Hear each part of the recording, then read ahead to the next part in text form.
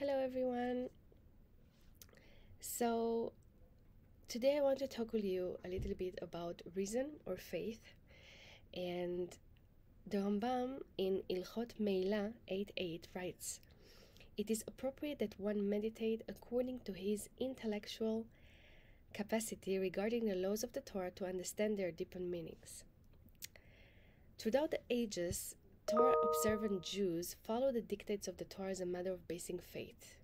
And this is how it should be. Our adherence to the Torah and its laws cannot be dependent upon our finding them satisfactory. First of all, we need to do what we need to do because Hashem commanded us to do it, yeah? This is the principle of Naaseh V'Nishma.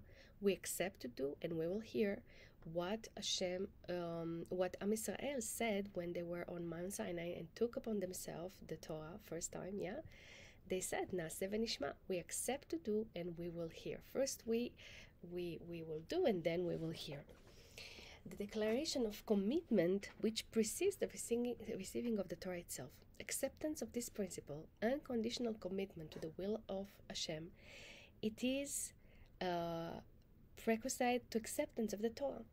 One who puts the commandments of Hashem under scrutiny before un- unreservedly assuming their fulfillment is essentially not accepting the dictates of Hashem, but rather those of his own intellect.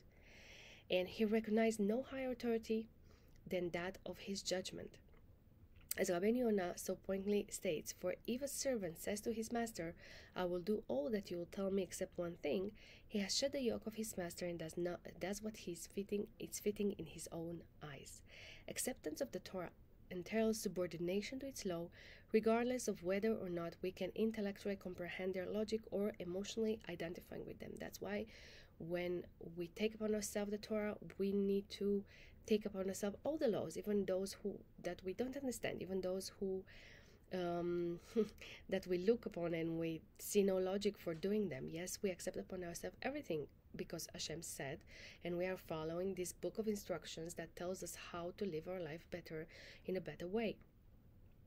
And following all the mitzvot and following what Hashem tells us uh, it's helping us to become better humans, better people, um, to correct ourselves in this world, to to manage to survive with one another, to interact with one another, and to have a relationship with uh, the Master of the world. This being so, any examination of the meaning of mitzvot seems superfluous. Why bother explaining something that requires no rationalization? Okay, so why do we explain the, the mitzvah? Yeah, the fact that Hashem commands us to perform a mitzvah is reason enough, indeed the only reason that a mitzvah may must be carried out. Nevertheless, the Rambam, the Rambam's ruling clear states that not only is one permitted to meditate upon the meaning of the mitzvot, it is appropriate to do so. Herein lies the dilemma. Granted that we should ponder the mitzvot, but isn't this ultimately an exercise of futility? Can the finite mind of man actually grasp the infinite wisdom hidden within each mitzvah? Surely, any interpretation that we may offer is a product of human understanding. Can our limited faculties comprehend and encapsulate the true meaning of the divine mitzvah?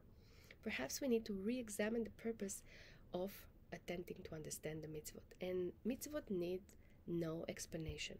Our sages teach one who, in referring to the mitzvah of Shiluach HaKen, the chasing away of the mother birds before taking her eggs or chicks, says, Even young birds merit your kindness, is silent. The purpose of understanding a mitzvah is not to comprehend what is accomplished with the mitzvah, but rather to perceive the lesson to be drawn from the mitzvah.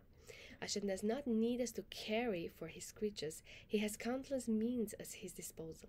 The pers- purpose of the mitzvah of Shiluach HaKen is that we internalize feelings of compassion.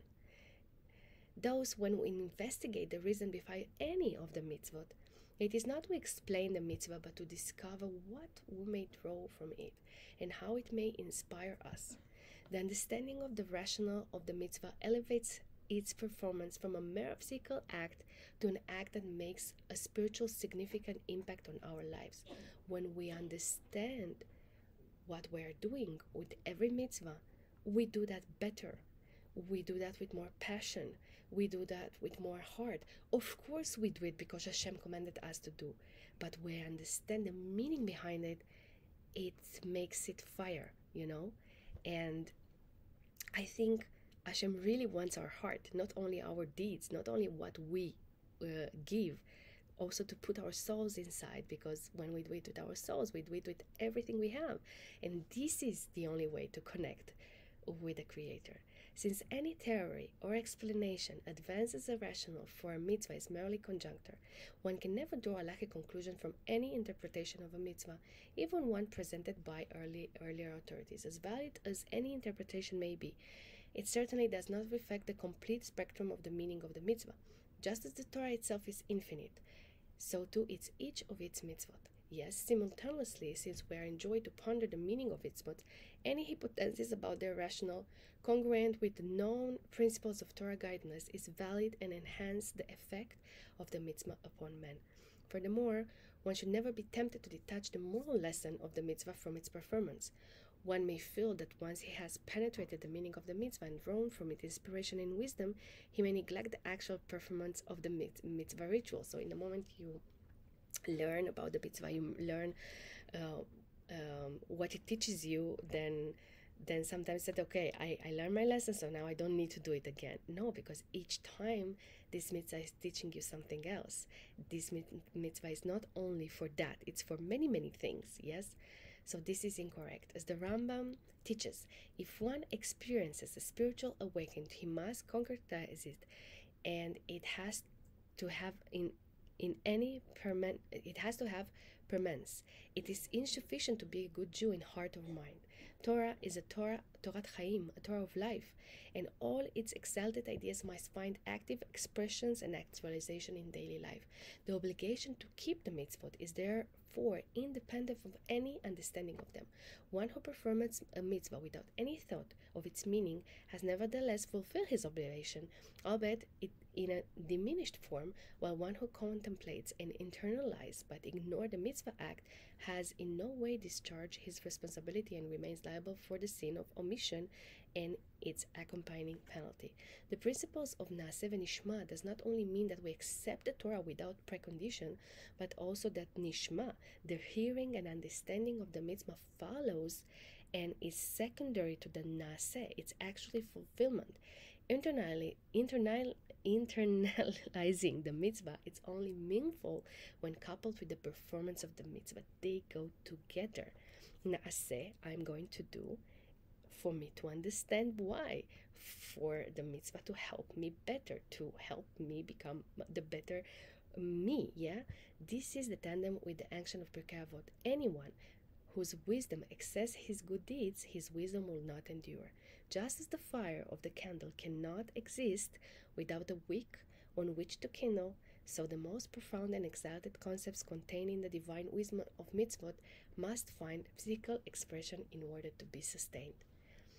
Stay tuned for our next class that is going to be about reason and taste. Have a great, great day.